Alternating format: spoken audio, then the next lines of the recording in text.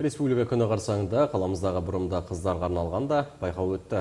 Қыздарға әсемдік жарасады атты тақырыппен өткен тартымды сайысқа тараздың сұлу сымбатты арулары қатысты.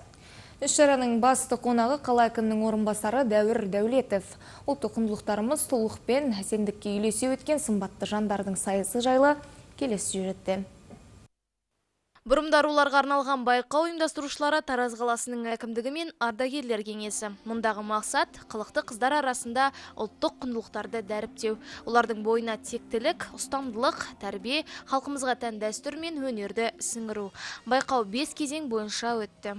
Салт дәстүріміз, әдет ғұрыптарымызды бойымызға дарыту кейінгі ұрпаққа соны бере білу кейінгі ұрпақтың бойында соны көре білу мақсатында жасалып отыр ал енді осы салт дәстүрдің өзінде де қазақ қыздарының бұрымы қандай болған сол бұрымды қазіргі кезде еске түсіру және шолпы тағылған қыздарды осы бұрымды қыздар деп бүгінгі атап отырғанымыз да сол.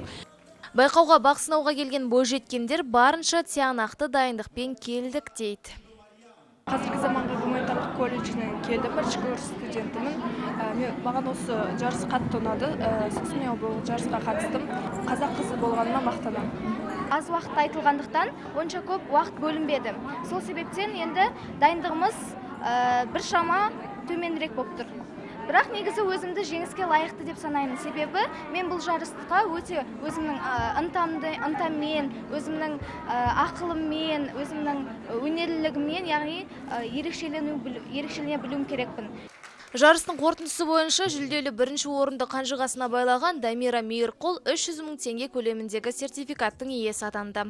Екінші орын Қарақат Мейрамбек 200 мың теңге, үшінші орын Егера Бифруза Балтабайға 100 мың теңгелік сертификат. Ал өзге қатысушыларға арнайы алғыс хат пен 50 мың теңгелік сертификаттар табыс етілді. Азерке Тазабаева, Риналі Рахматуллин, Асылжан Шымкент, Айқын ақпарат.